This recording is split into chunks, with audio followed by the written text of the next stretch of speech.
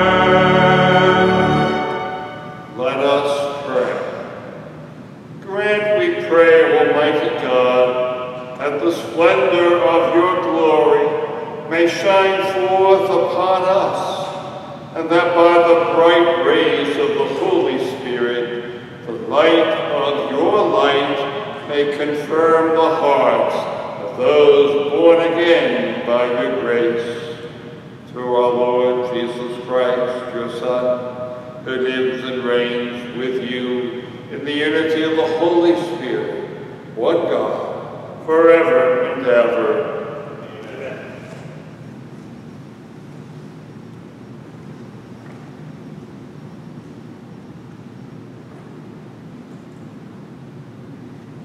A reading from the book of the prophet Ezekiel.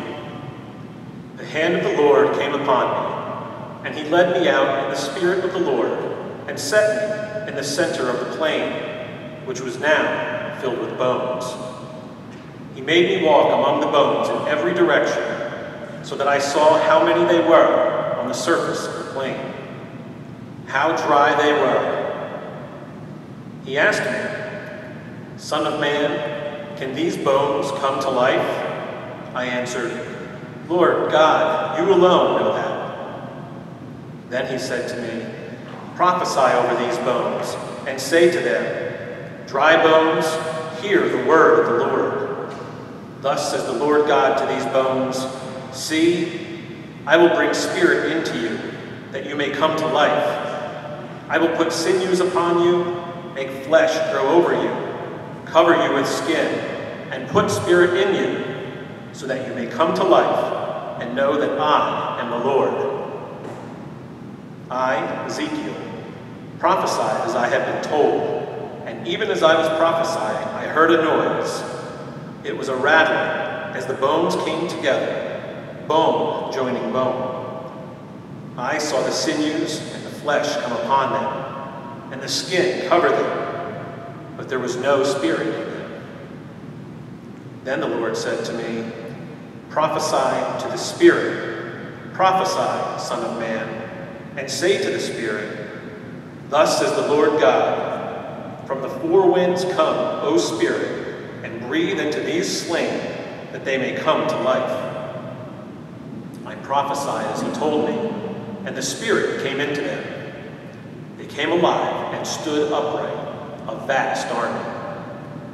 Then he said to me, Son of man, these bones are the whole house of Israel. They have been saying, Our bones are dried up, our hope is lost, we are cut off. Therefore, prophesy and say to them, Thus says the Lord God, O my people, I will open your graves and have you rise from them and bring you back to the land of Israel. Then you shall know that I am the Lord when I open your graves and have you rise from them, O my people. I will put my spirit in you that you may live, and I will settle you upon your land.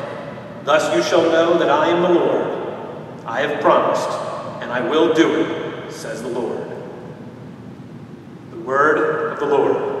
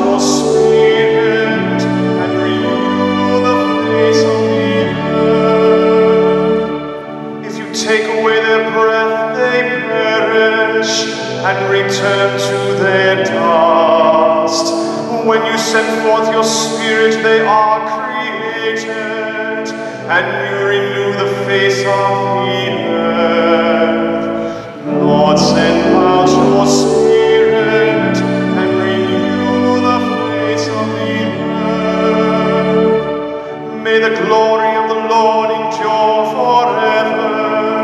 May the Lord be glad in his works.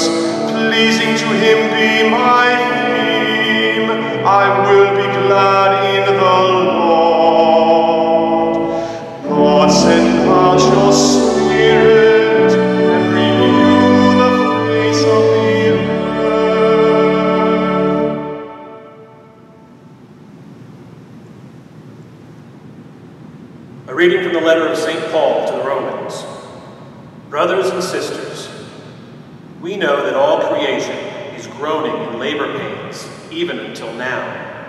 not only that, but we ourselves, who have the first fruits of the Spirit, we also groan within ourselves as we wait for adoption, the redemption of our bodies. For in hope we were saved. Now, hope that sees is not hope. For who hopes for what one sees? But if we hope for what we do not see, we wait with endurance. In the same way, the Spirit too comes to the aid of our weakness. For we do not know how to pray as we ought, but the Spirit Himself intercedes with inexpressible groanings. And the one who searches hearts knows what is in the intention of the Spirit, because he intercedes for the holy ones according to God's will. The word of the Lord.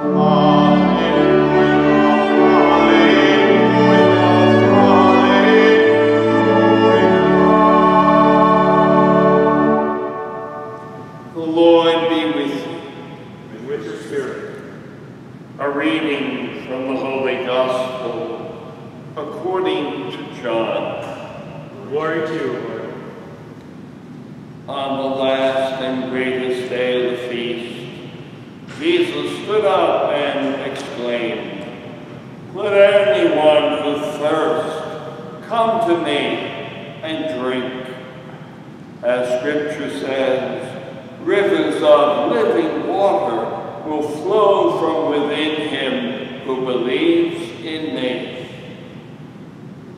He said this in reference to the Spirit, that those who came to believe in him were to receive. There was, of course, no Spirit yet, because Jesus had not yet been glorified. The Gospel of the Lord. Praise, praise to you, Lord Jesus Christ.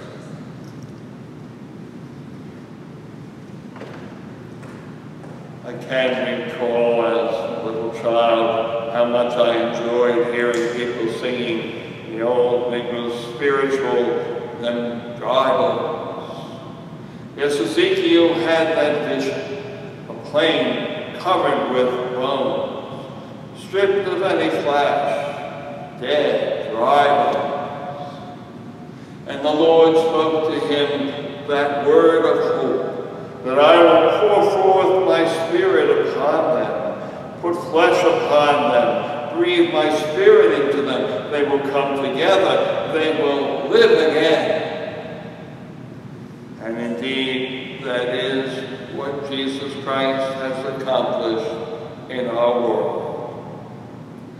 And we hear St. Paul in today's reading, the letter to the Romans, speaking to us of what's going on in our world. Speaking to Christians who perhaps were a bit discouraged. They thought if we believe in Christ, everything will be wonderful. And here they were, suffering for Christ, being persecuted, put to death for him.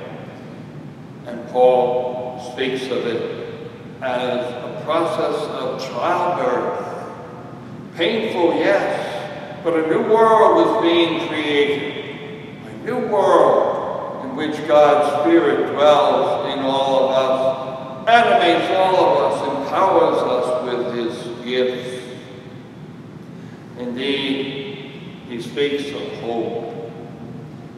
With hope, we were saved. Pope Benedict XVI, some years ago, in his very first encyclical entitled, In Hope We Are Saved. Yes, hope looks beyond the troubles of the present time to know that God who is at work in our lives and in our world has already, in Jesus' death and resurrection, conquered all evil, even death itself. Yes, our God has accomplished his work of redemption, but it takes a while in our own lives, in the life of our whole world, for that redemption to be fully accomplished. God has poured forth his Spirit into our hearts in Pentecost. We well remember the story of those 12 apostles. After the ascension of the Lord, staying in Jerusalem, as he said, and waiting for the coming of the Spirit, they were paralyzed fear, so afraid that perhaps they would be found out and also made to suffer and die for Christ. They were huddled in that little room that they had the Last Supper with Jesus. And suddenly on that morning, about nine o'clock, the Spirit of the Lord came upon them and burst through the shutters settling upon them in tongues of flame. There they were gathered with Mary and receiving the Spirit. And how changed they were. These men who had been paralyzed by fear now couldn't stay in that room any longer. They had to go out into the streets, ecstatically praising the God who had done such wondrous things in Jesus and they knew they were given the commission by Jesus these ordinary fishermen, ordinary workers, told to tell the whole world the good news of what Jesus did and what he said. They were not filled with fear anymore. They went forth to proclaim the gospel of Christ, the good news. And so we call that day the birthday of the church as some 3,000 people accepted their message and came to baptism into Jesus Christ. The church was born. Yes, the Holy Spirit is the soul of the church. Without the Spirit, we're dead, we're disunited. But it is the Spirit who brings us together and empowers us. He gives us all his gifts. And how often when Jesus spoke to those apostles about the coming of the Spirit, he said he will give you power, strength, courage, Perhaps some of you saw Pope Francis on March 27 holding a very unusual prayer service in St. Peter's in Rome, praying that God would deliver all of us from this virus. He was speaking to an empty St. Peter's Square, rain swept, depressing, and his message was one of hope. He commented over and over again on the gospel story from Mark of the apostles in the boat, and suddenly a great storm came up, and they were terrified. And there was Jesus asleep in the boat. And when they woke him, he said, Why are you afraid? Have you no faith? And not once but five times in his sermon did Pope Francis repeat those words of Jesus. Yes, no matter what great the storm is that we face in our life, no matter how we may be tempted to be paralyzed by the disease of fear, Jesus says, I am with you. I will deliver you. My spirit is within you, and my spirit gives you power strength, courage.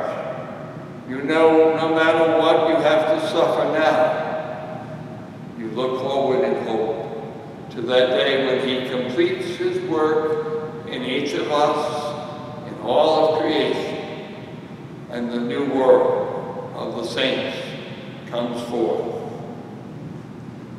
Jesus said, let anyone who thirsts come to me and drink. Do you thirst for happiness, for peace, for real joy? Then come to Jesus. Come and open your mind and your heart and welcome the Spirit. Come, Holy Spirit, soul of the church, soul of each one of us. Come, dwell within us again. Renew us, renew the face of the earth. Give us that strength and that courage to move on toward our goal of eternal joy and peace. Come, Holy Spirit, come.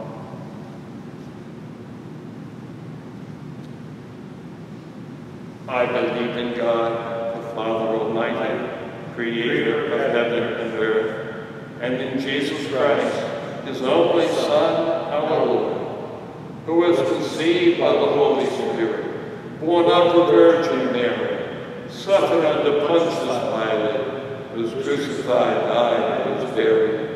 He descended into hell. On the third day he rose again from the dead. He ascended into heaven and is seated at the right hand of God, the Father Almighty. From there he will come to judge the living and the dead.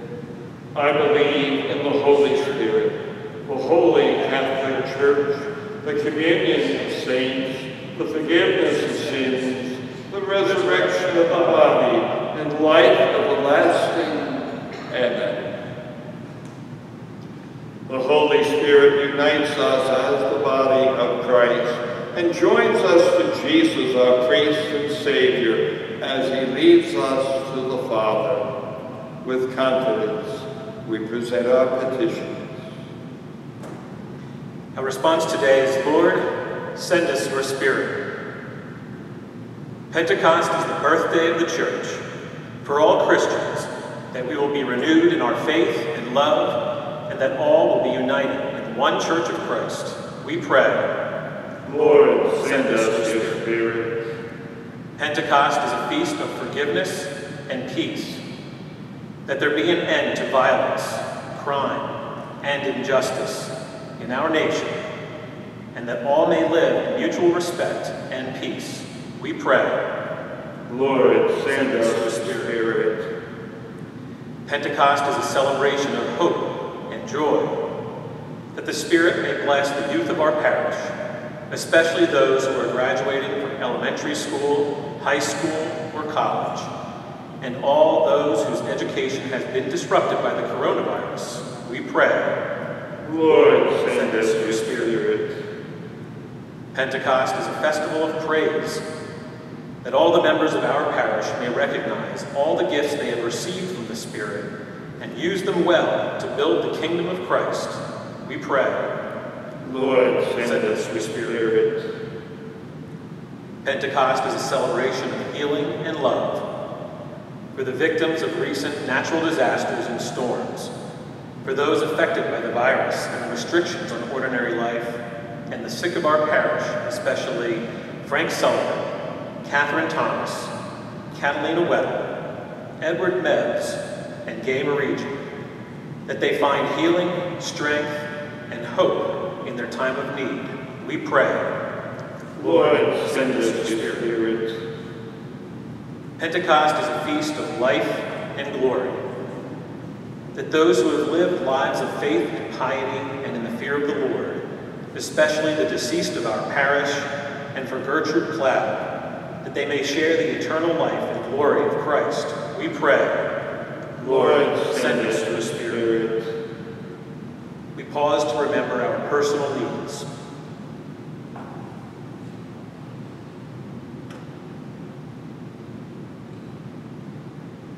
In confident trust, we pray. Lord, send us your Spirit. Eternal God and Father, send forth the Spirit of your Son into our hearts and renew us as the people of your covenant. May we use well the gifts of the Spirit to empower us to build the kingdom of your Son, who is Lord forever and ever.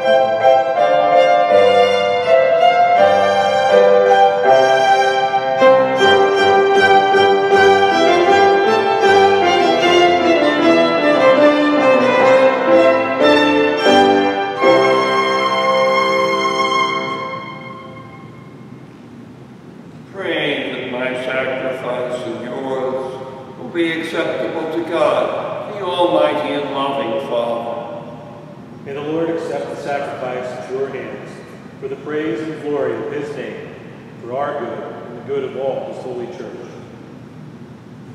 Pour out upon these gifts the blessing of your Spirit, we pray, O Lord, so that through them your church may be imbued with such love, that the truth of your saving mystery may shine forth for the whole world through Christ our Lord.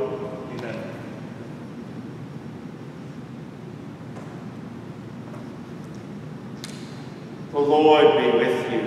And with your spirit, Lift up your hearts. we lift them up to the Lord. Let us give thanks to the Lord, our God. It is right and just.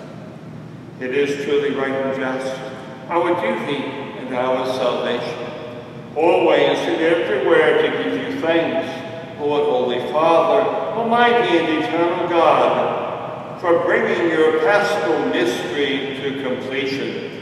You bestow the Holy Spirit today on those who make your adopted children by uniting them to your only begotten Son. This same Spirit, as the Church came to birth, opened to all peoples the knowledge of God and brought together the many languages of the earth in profession of the one faith. Joy, every land, every people exalts in your praise, and even the heavenly powers with the angelic hosts sing together the unending hymn of your glory as they acclaim. Holy, holy, holy Lord God of hosts, heaven and earth are full of your glory. Hosanna in the highest. Blessed is he who comes in the name of the Lord. Hosanna in the highest. To you, most merciful Father, we make humble prayer and petition through Jesus Christ, your Son, our Lord, that you accept and bless these gifts, these offerings, these holy and unblemished sacrifices, which we offer you firstly for your holy Catholic Church. Be pleased to grant her peace, to God unite and govern her throughout the whole world, together with your servant, Francis our Pope, Francis our Bishop, all those who holding to the truth, hand on the Catholic and apostolic faith. Remember, Lord, your servants, all the members of our parish family, all those who are ill and suffering because of the virus. And Lord, we pray for our nation, that there may be an end to violence and bloodshed, crime and injustice. And we pray for all gathered here whose faith and devotion are known to you. For them we offer you this sacrifice of praise, or they offer it for themselves and all who are dear to them, for the redemption of their souls in hope of health and well-being, and paying the homage to you, the eternal God, living and true. Celebrating the most sacred day of Pentecost, on which the Holy Spirit appeared to the apostles in tongues of fire, and in communion with those whose memory we venerate, especially the glorious ever Virgin Mary, Mother of our God and Lord Jesus Christ, Blessed Joseph, her spouse, her blessed apostles and martyrs, Peter and Paul, Andrew, James, John, Thomas, James, Philip, Bartholomew, Matthew, Simon, and Jude, Linus, Cletus, Clement, Sixtus, Cornelius, Cyprian, Lawrence, Chrysogonus, John and Paul, Cosmas, and Damian, and all your saints. We ask that through their merits and prayers, in all things, we may be defended by your protecting power. Therefore, Lord, we pray graciously at this oblation of our service, that of your whole family. Order our days in your peace, and command that we may be delivered from eternal damnation and counted among the flock of those you have chosen. Be pleased, O God, we pray, to bless, acknowledge, and approve this offering in every respect. Make it spiritual and acceptable, so that it may become for us the body and blood of your most beloved Son, our Lord Jesus Christ.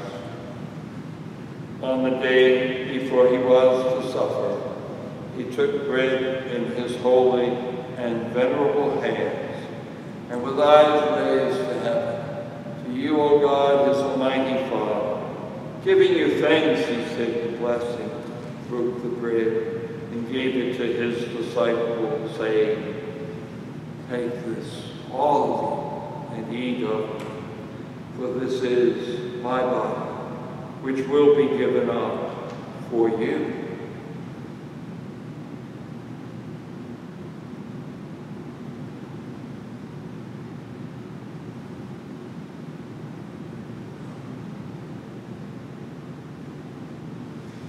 In a similar way, when supper was ended, he took this precious chalice in his holy and venerable hands.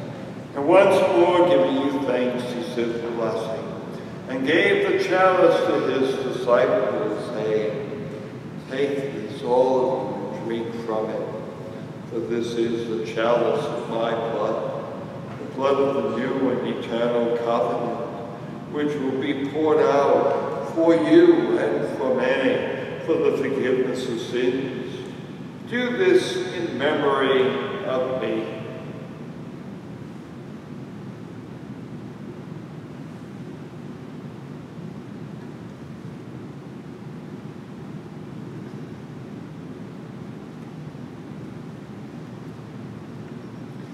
The mystery of faith.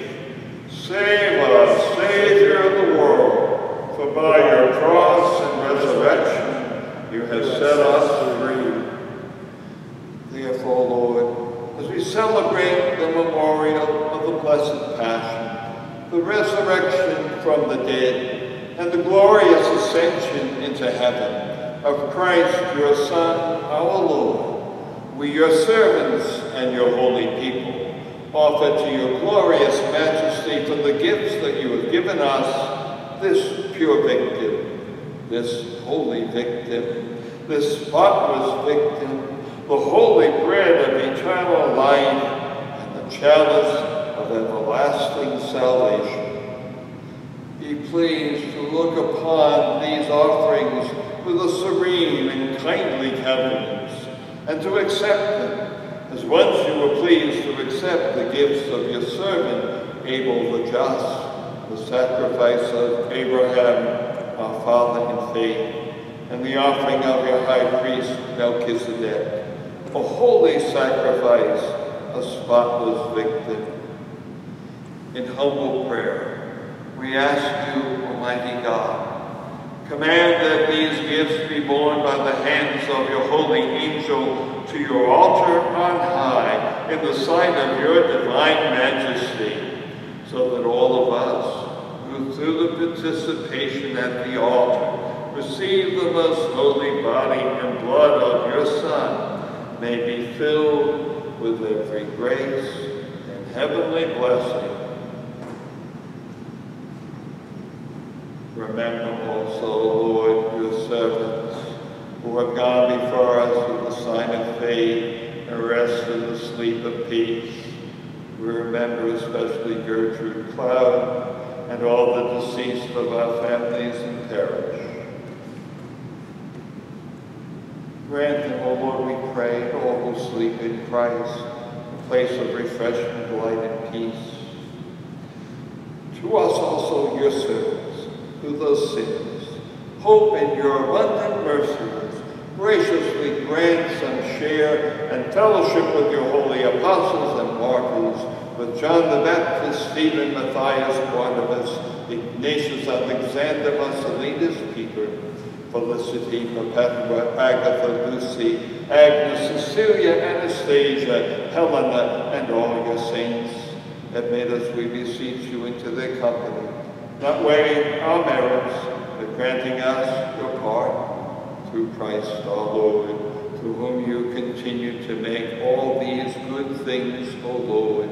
You sanctify them, fill them with life, bless them, and bestow them upon us.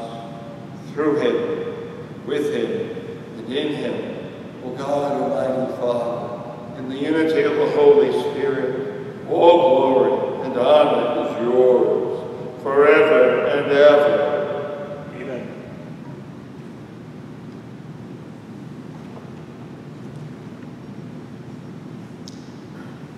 At the Savior's command, informed by divine teaching, we dare to say, Our Our Father, Father, who art in heaven, hallowed be thy name. Thy kingdom come, thy will be done, on earth as it is in heaven. Give us this day our daily bread, and forgive us our trespasses, as we forgive those who trespass against us. And lead us not into temptation, but deliver us from evil. Deliver us, Lord, we pray, from every evil. Graciously grant peace in our days, and by the help of your mercy, we may be always free from sin and safe from all distress, as we await the blessed hope and the coming of our Savior, Jesus Christ. For the kingdom, power, glory are yours, now and forever. Lord Jesus Christ, who said to your apostles, Peace I leave you, my peace I give you. Look not on our sins, but on the faith of your church, and graciously grant her peace and unity in accordance with your will, who live and reign forever and ever. Amen. Peace of the Lord be with you always. And with your spirit.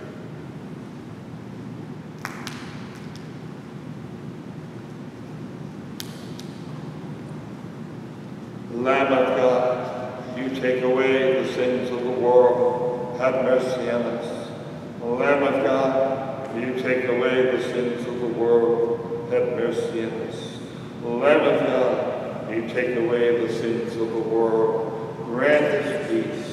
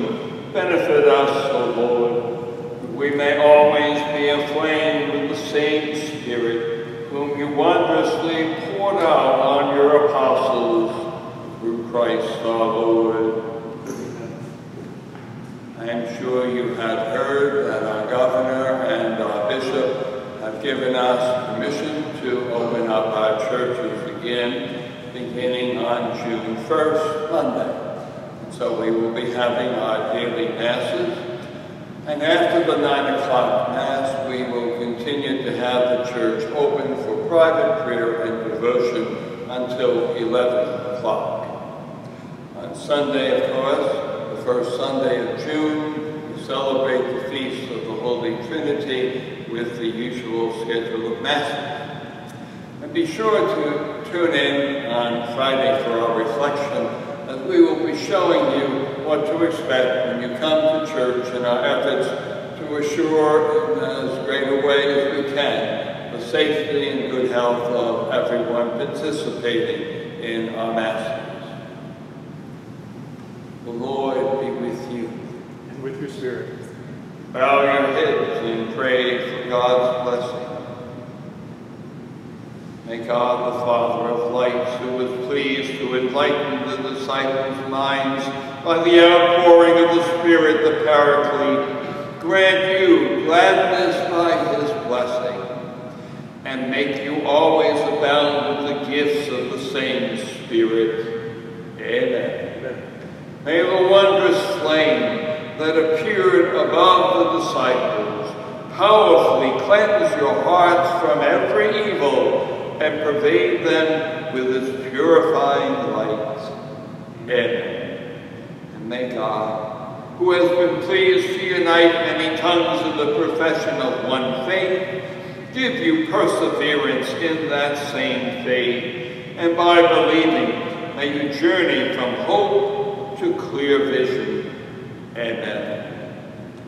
And may the blessing of Almighty God, the Father, the Son, and the Holy Spirit come down on you and remain with you forever. Amen. Go in the peace of Christ. Alleluia. Alleluia. Thanks be to God. Hallelujah. Hallelujah.